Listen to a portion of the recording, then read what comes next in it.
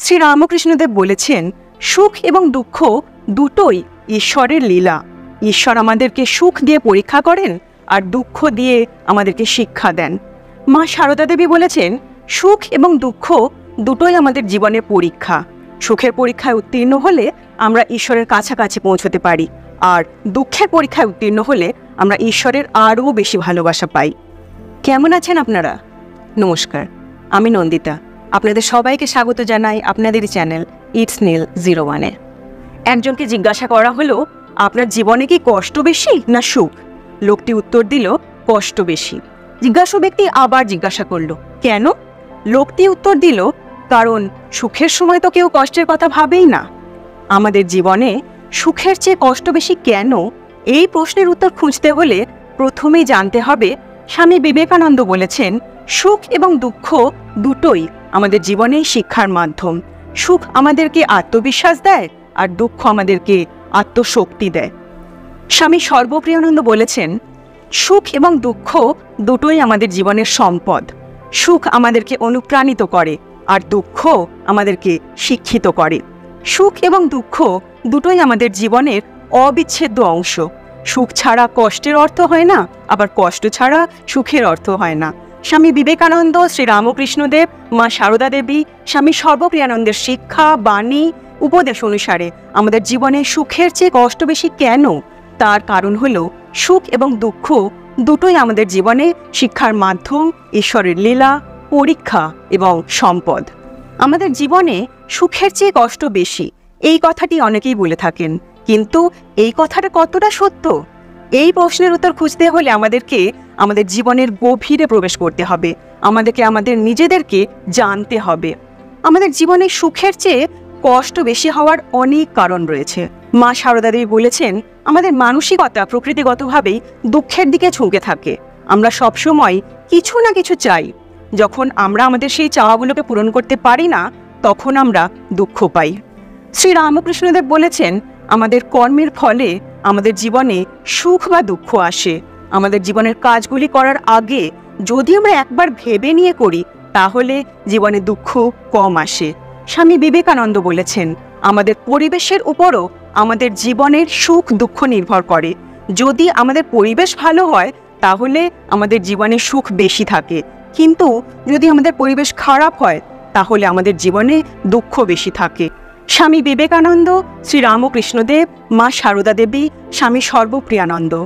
প্রমুখ মনীষীরা আমাদেরকে এই মানসিকতা পরিবর্তন করার উপায় বলে দিয়েছেন। তারা বলেছেন যে, আমাদেরকে আমাদের মনকে ঈশ্বরের দিকে নিবদ্ধ করতে হবে। যখন আমরা আমাদের মনকে ঈশ্বরের দিকে নিবদ্ধ করি, তখন আমাদের মানসিকতা পরিবর্তিত হয়। আমরা দুঃখের দিকে ঝুঁকে না থেকে সুখের দিকেই ঝুঁকে পড়ি। স্বামী বিবেকানন্দ বলেছেন, যেখানে ঈশ্বর আছে, সেখানে দুঃখ নেই। শ্রী রামকৃষ্ণদেব বলেছেন, যে ঈশ্বরে বিশ্বাস করে, তার কোনো দুঃখ নেই। মা সারদা দেবী বলেছেন, ঈশ্বরের নামের জপ করলে দুঃখ দূর হয়। স্বামী সর্বপ্রিয়ানন্দ বলেছেন, ঈশ্বরের কৃপায় সব দুঃখ দূর হয়। জীবনে সুখ ও দুঃখের অনুভূতির এই খেলাই চলে, কিন্তু কেন আমাদের জীবনে সুখের চেয়ে কষ্ট বেশি মনে হয়? এই প্রশ্নের উত্তর খুঁজতে আমরা পাড়ি দেব আধ্যাত্মিক জগতের পথে মহাপুরুষদের শিক্ষার হাত ধরে। শ্রী রামকৃষ্ণদেব বলেছেন, সুখ ও দুঃখ আসলে আমাদের মনের দুই মুখ। যখন আমাদের ইচ্ছা পূরণ হয়, মন আনন্দে ঝলমল করে, সেটাই সুখ। আবার যখন ইচ্ছা পূরণ হয় না, তখন মন মলিন হয়ে পড়ে, সেটাই দুঃখ। কিন্তু কেন এই ইচ্ছা?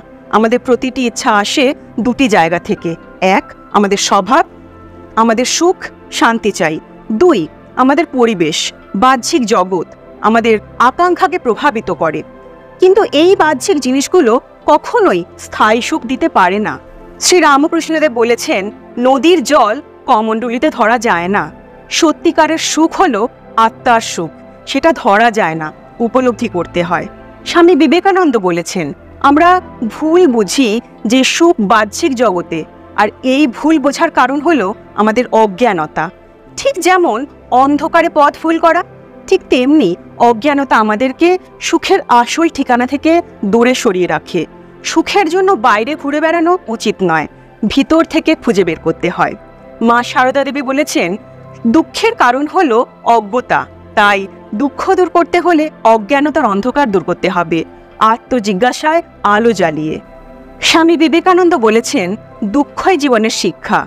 তিনি আরও বলেছেন, দুঃখই আমাদেরকে উন্নত করে তোলে। স্বামী বিবেকানন্দের মতে, দুঃখ আমাদেরকে নিম্নতর আত্মা থেকে উচ্চতর আত্মার দিকে উন্নীত করে। শ্রী রামকৃষ্ণদেব বলেছেন, জীবন স্বর্গ নয়, নরকও নয়, জীবন হল যাত্রা। তিনি আরও বলেছেন, জীবনে সুখ, দুঃখ দুটোই থাকবে। শ্রী রামকৃষ্ণদেবের মতে, সুখ, দুঃখ দুটোই জীবনের অবিচ্ছেদ্য অংশ।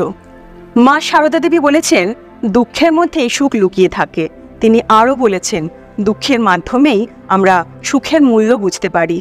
মা সারদা দেবীর মতে, দুঃখের মধ্যেই সুখের বীজ লুকিয়ে থাকে। স্বামী সর্বপ্রিয়ানন্দ বলেছেন, দুঃখের মধ্যেই ঈশ্বর লুকিয়ে থাকেন। তিনি আরও বলেছেন, দুঃখের মাধ্যমেই আমরা ঈশ্বরের কাছে আসতে পারি।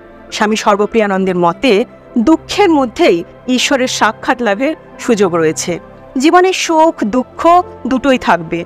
দুঃখ আমাদেরকে উন্নত করে তোলে। দুঃখের মাধ্যমেই আমরা সুখের মূল্য বুঝতে পারি। দুঃখের মধ্যেই লুকিয়ে থাকেন ঈশ্বর স্বয়ং। জীবনে সুখ, দুঃখ দুটোই থাকবে, এটাই বাস্তব। কিন্তু আমরা যদি দুঃখকে ইতিবাচকভাবে গ্রহণ করি, তাহলে তা আমাদেরকে সুখী করে তুলতে পারে। দুঃখের মাধ্যমেই আমরা সুখের মূল্য বুঝতে পারি। সুখের মূল্য না বুঝলে আমরা সুখী হতে পারি না। দুঃখের মধ্যেই ঈশ্বর লুকিয়ে থাকেন। দুঃখের মাধ্যমেই আমরা ঈশ্বরের কাছে আসতে পারি। স্বামী বিবেকানন্দের দর্শনে দুঃখ হল একটি পরিশোধন প্রক্রিয়া। শ্রী রামকৃষ্ণদেব বলেছেন, জীবন স্বর্গ নয়, নরকও নয়, জীবন হলো যাত্রা। জীবনে সুখ, দুঃখ দুটোই থাকবে। সুখ, দুঃখ দুটোই জীবনের অবিচ্ছেদ্য অংশ। সুখ ছাড়া দুঃখের অর্থ হয় না, আবার দুঃখ ছাড়া সুখের মূল্য বোঝা যায় না। মা সারদা দেবী বলেছেন, দুঃখের মধ্যেই সুখ লুকিয়ে থাকে। দুঃখের মধ্যেই আমরা সুখের মূল্য বুঝতে পাই। দুঃখ হল সুখের বীজ। দুঃখের মাধ্যমেই সুখের জন্য সত্যিকারের আকাঙ্ক্ষা জাগ্রত হয়। স্বামী সর্বপ্রিয়ানন্দ বলেছেন, দুঃখের মধ্যেই ঈশ্বর লুকিয়ে থাকেন। দুঃখের মাধ্যমেই আমরা ঈশ্বরের কাছাকাছি যেতে পারি। দুঃখ হল ঈশ্বরকে অনুভব করার একটি উপায় মাত্র। দুঃখের মাধ্যমে আমরা আসলে আমাদের অন্তরের গভীরে প্রবেশ করতে পারি এবং ঈশ্বরের সাক্ষাৎ লাভ করতে পারি। জীবনের পথে কত বাধা, কত বিপত্তি, কত প্রশ্ন, কত উত্তরের অপেক্ষায়। কোথায় খুঁজে পাবো আলোর দিশা?